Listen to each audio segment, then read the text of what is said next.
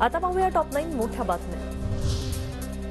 आमदार गोपीचंद पडळकरांचं देवेंद्र फडणवीसांना पत्र धनगर आंदोलकांवरील गुन्हे मागे घेण्याची मागणी. आयजीला हा मराठवाडा आणि महाराष्ट्र अशांत करायचा आहे का? यांच्या मागे कुणाची अदृश्य शक्ती आहे? यांच्या पाठीमागे कुणाचं पाठबळ आहे?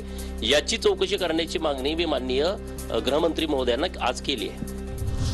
पंकजा मुंडे हसल्या तरी बातमी होते हे त्यांचं दुर्दैव. चंद्रकांत पाटलांची प्रतिक्रिया प्रत्येक वक्तव्याचा चुकीचा अर्थ काढल्यानं पंकजा मुंडेंचं नुकसान होत असल्याचंही विधान.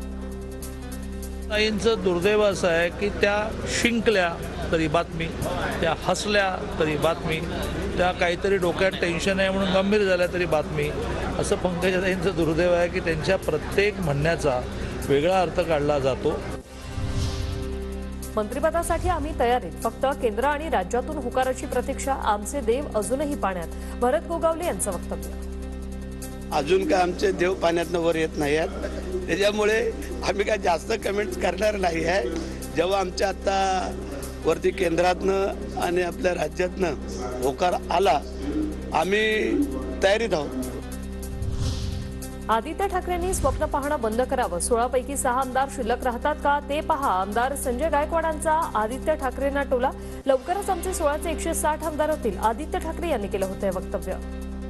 सोळाचे सहा शिल्लक राहतात का? हिची काळजी करा. एकशे साठ कोणाकडूनच होऊ शकले नाही? कधीच होऊ शकले नाही. कोणत्याच पक्षाचे होऊ शकले नाही. जर मागचा काळ काँग्रेसचा सोडला तर.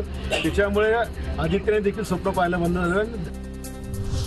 जायकवाडी धरणात पाणी सोडा सरकारचे आदेश सूत्रांची माहिती. कोर्टाच्या आदेशाचं तंतोतंत पालन करणार. मराठा आंदोलनामुळे कायदा सुव्यवस्थेचा प्रश्न उद्भवणार नाही सरकारचं मत तिसऱ्या टप्प्यातील दौरा संपवून जरांगे अंतरवाली सराटीत आता पुढचा दौरा मराठवाडा खानदेश आणि विदर्भात. जरांगेंची माहिती.